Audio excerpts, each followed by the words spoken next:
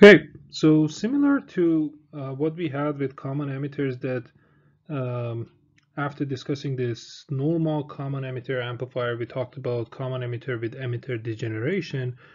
Um, now we have to talk about common source stage with degeneration. We have seen common source with the resistor load, with the current source load, with the um, basically the load that we saw um, in the previous slide. Now let's talk about the common source amplifier that has an emitter, uh, source degeneration resistor RS, right? Up to now, our source was connected to ground. Now let's see what happens if I connect my source to um, and to ground, but through an RS, not directly to ground. So here's the small signal model. So I'm going to start with the VN, as always, and uh, I'm going to have the gap, VGS, and this time source is not connected to ground. It's actually connected to an RS and that RS is actually connected to ground. On the drain side uh, things are pretty much the same. So I have GM VGS and I have the R naught. Um, for now let's just assume that lambda is equal to zero so no channel length modulation. So let's just ignore R naught. And let's just have the RD to ground. Okay. V out. Great. So how do I find uh, the gain? Well, V out is actually, so let's write it. V out is negative GM RD times VGS. The difference is that this time VGS is not our VN. VN is from this point to ground, but VGS is from this point to this point, which is not ground. So they're not equal to each other.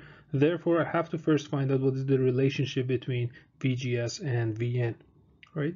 So to do that, well, um, I know that basically, let's call this node Vx.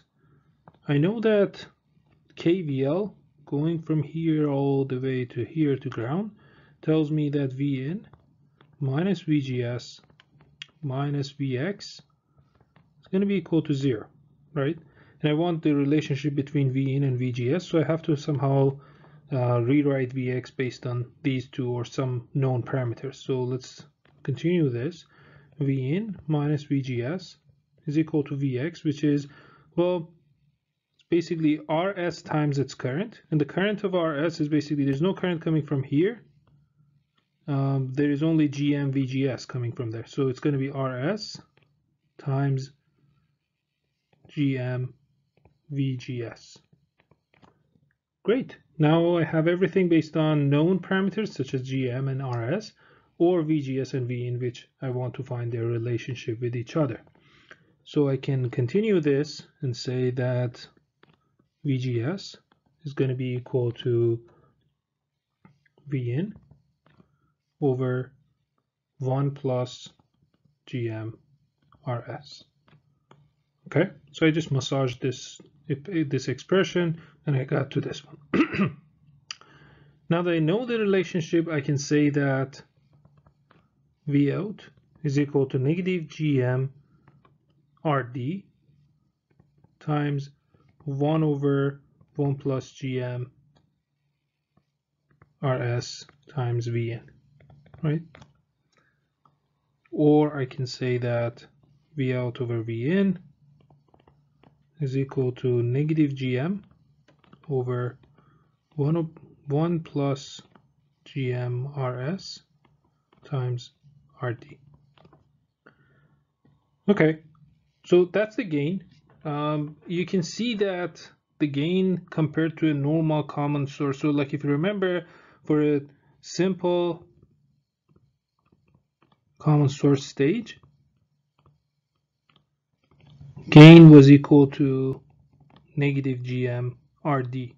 So you can see that, well, we have negative GM RD in the numerator of this fraction, but in the denominator I have 1 plus GM RS. So the gain is actually attenuated. But in many textbooks, people define this entire thing as a capital GM just to make sure, just to make this, oh, actually they don't include the negative. So to be more precise, this is what they define as capital GM. So that the form is actually very similar to a normal common source. So they call this a negative GMRD. That's just the definition, doesn't change anything. Um, we Based on this, we can see that the gain is actually attenuated by a factor of 1 plus GMRS. And that's what we actually expected because um, with common emitter with degeneration, we saw that it actually attenuates the gain, but it has other benefits. We have the same kind of stability benefits that we had over there um, here as well. Okay. Now, if I want to take it to the form that we are more familiar with from the BJT analysis, we can see that this is, if I divide the numerator and denominator of this fraction by GM, I'm going to get negative RD divided by 1 over GM plus RS, right? So the resistor in the drain, so now I have RD only in the drain, but if I had so many other resistors or like replacing the resistor with a common, with a, with the current source, basically tells you that whatever resistance that you see in the drain, so it could be just the RD or could be bunch of resistors in parallel, could be a transistor, and then you replace the equivalent resistor, resistance of that transistor. But at the end of the day, whatever resistance that you see on the in the drain, divided by 1 over GM plus whatever resistance that you see in the source. Okay, so that's the uh, that's the gain of uh, a common source stage with degeneration.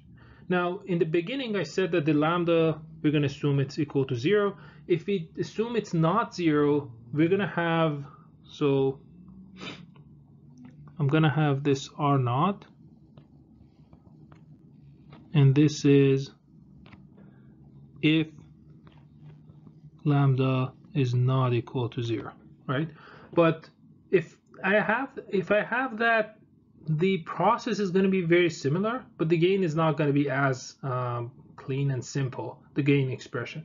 So for this course, for common source stage with degeneration, we're just going to assume that all the time, um, if we want to calculate the gain, there is no channel length modulation, lambda is equal to zero, so we don't have this R naught, just to keep things simple. There's nothing new, you just still have to do the same kind of process, you just have to write the KCL, it's just going to be a little bit more complicated you have to write two KCLs to actually relate the V out and V in together. But in terms of the way or the way that you approach the problem, it's pretty much the same thing. Okay, so we learned that uh, the gain of a common source stage with source degeneration is equal to um, negative GM over 1 plus GM RS times RD or negative G capital GM RD. Okay, so now let's solve an example. We're going to solve this example in two ways. One is we're just going to ignore the fact that we know this expression. We're just going to calculate the gain again directly from the small signal uh, circuit. Uh, that's kind of like the um, the hard way of doing things. And then um, we're going to repeat the, our, our process using the smart way of doing things, using the fact that we know that uh, this is a common source stage with degeneration and M2 I, if I if I replace the entire M2 here with a resistor I have the exact same circuit as the previous slide so I can easily uh, apply the same gain expression. Okay so first let's do it the hard way. Um, let's say that well the first thing I want to do is to actually draw the small signal model. So I'm going to start with this V signal connected to the gate source gap VGS the drain is connected to the source using a GM VGS current source, and then the drain is connected to an RD to ground.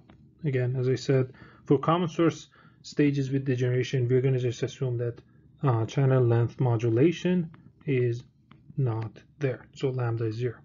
Now, the source of this M1, so we have to actually use VGS1, GM1, VGS1, so that we can distinguish between the two transistors. The source of M1 is actually connected to the source of M2. So let's say this is the source of M2. Therefore, the gate of M2 would be the VGS of M2 is going to be VGS2. This is going to be the gate. Gate is connected to ground, so I'm just going to connect it to ground. and the drain is also connected to ground but then between the gate and source I'm gonna have this current source flowing from drain to source which is GM2 VGS2 so the direction is always from drain to source. And then um, the drain is also connected to ground. So if I want to annotate this this is gate this is drain this is source of 1 this is also source of transistor 2 this is gate of transistor 2 and drain of transistor 2 okay. Now how do I solve this? Well our friend KCL is going to help. And well the other friend KVL are, is going to also help. First thing I'm going to write a KCL at this node S1 which is also the node S2 right? You remember from EECS 2200 that these S1 and S2 are the same node right? So if I want to write the KCL, I can see that I only have two currents, this one and this one, because these two are just basically the, the, the branches on the left are, well, they're open, so they don't have any current. So I can write GM1, VGS1, uh, plus GM2, VGS2, should be equal to 0. That tells me that VGS2 is equal to negative GM1 over GM2 times VGS 1. Good. Now I'm gonna write I'm gonna write KVL here and uh, my KVL I'm gonna write it on this path. Okay, so uh, plus V signal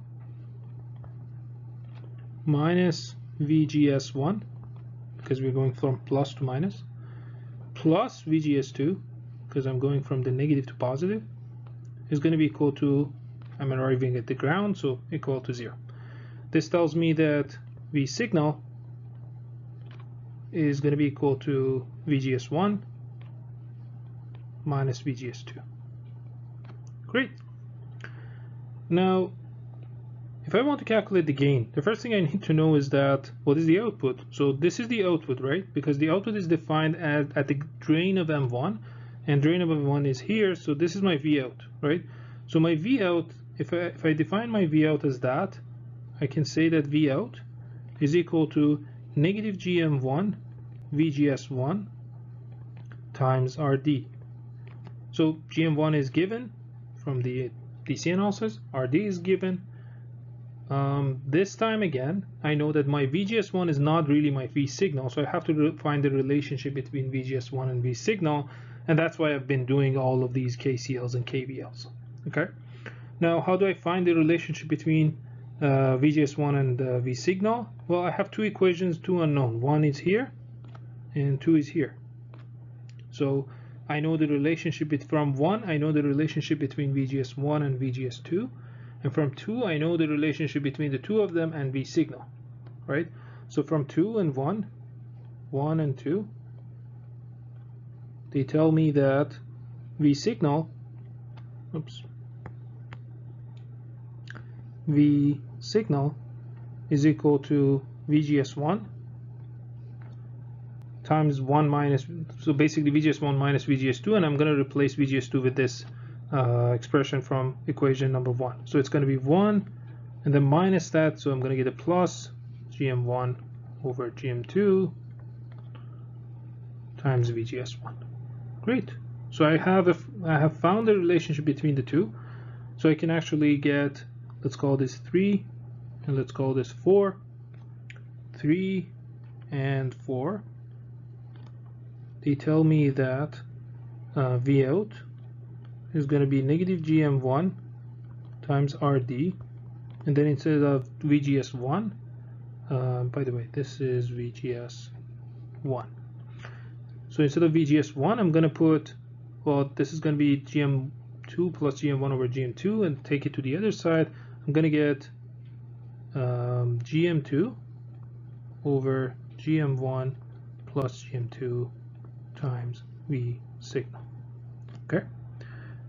Looking at this, I can say that my gain, which is V out over V signal or V in, um, is going to be equal to negative gm1 gm2 over gm1 plus gm2 times RD. Now I know that uh, that's that's our gain expression. We're done. I know that it looks like that GM1 and GM2, the, the, the relationship, the fraction looks like that they're in parallel. That doesn't mean really anything. So then they just we just was we were just lucky that we got an expression that looks like a parallel thing. So don't try to read too much into this um, fraction or expression. Now this was the hard way of doing things. Now let's look at the easy way of doing things. So or the smart way of doing things. Uh, let me draw a line here. So solution 2. I know that from slide 11, from our discussion in slide 11, I know that R seen, or let's not use it as a subscript, R seen from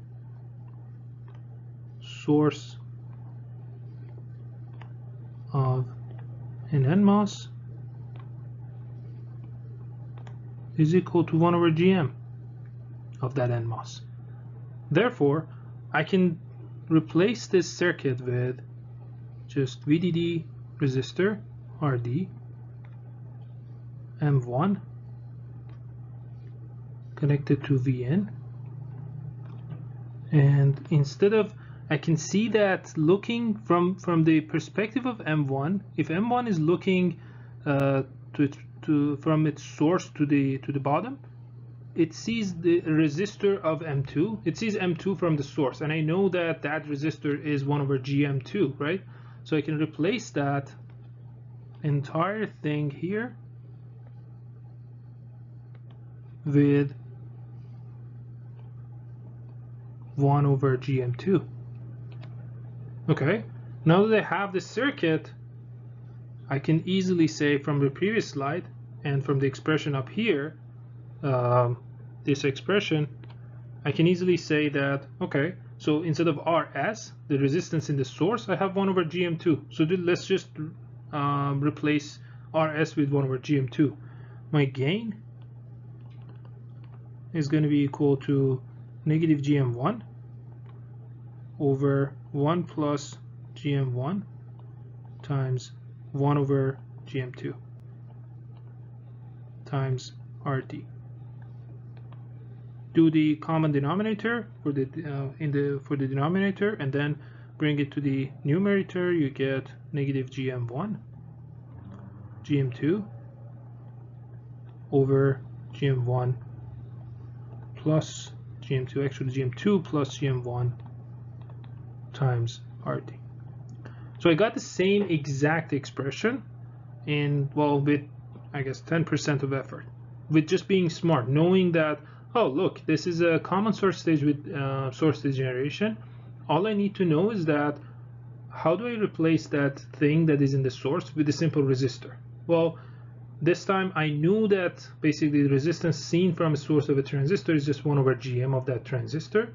But even if I didn't know, it would have been much easier to actually find out what is that resistance. Just connect the test source voltage and uh, find the relationship between Vx and Ix and you're good to go, right? You replace that resistance, that, that circuit, whatever it is. In this case, it was just a single PMOS transistor M2.